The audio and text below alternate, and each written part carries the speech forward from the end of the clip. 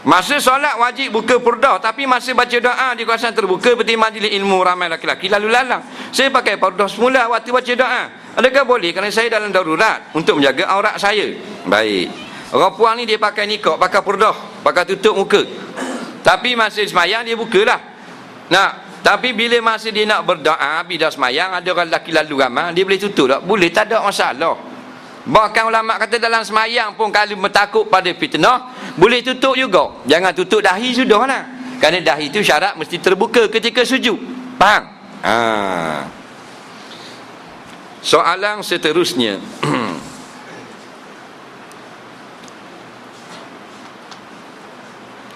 Bila nak khusus dalam semayang Bagaimana nak khusus dalam semayang Khusus mana pula Dia je khusus Haa K-H-U-S-U-S Bagaimana nak khusyuk dan semayang? Khusyuk-khusyuk ni barang yang mudah sebut Tapi payah nak dapat.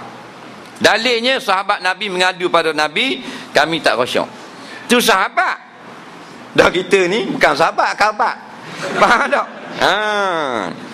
Susah atau tidak Kena mujahadah Kena berjuang juga untuk dapatkannya. Sekurang-kurang khusyuk Diam segala anggota. Tak gerak hati Buat kerja semayang sudah Ingat baca bismillah nampak bismillahirrahmanirrahim. Dah nampak makna bismillah. Nampak ke huruf nak baca betul. Khusyuk dah. Nah. Jangan geruk. Kalau tergaru-garu khusyuk. Eh kalau tergaru-garu memang tak khusyuk. Nabi tengok seorang laki-laki jari ni bergerak-gerak. Nabi kata kalau orang ni khusyuk nescaya diam jari dia. Macam Tok Agak. Siapa raja pergi Mekah tengok Tok Agak. Duduk sebelah kita pada main piyah. Main selendang.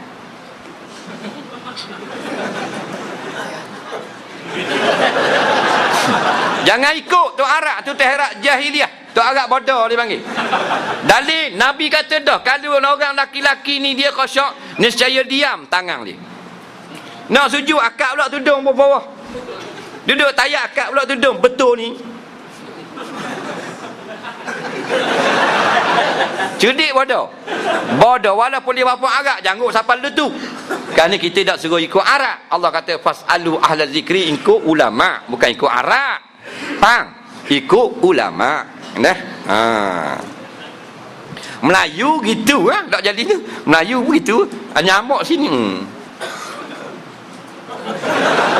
Apa benda semayang macam beruk gila. Kata ulama kalau tak dapat tidur, kalau kita tak garu jadi terganggu khusyuk kita, baru kita garu perlahan. Faham? Tapi kalau rasa sikit-sikit, jangan pegang. Diam, adab kepada kerja semayang. Ni teruk. Oh, kaki ada. Semayang apa tu? Allahu Rabbi.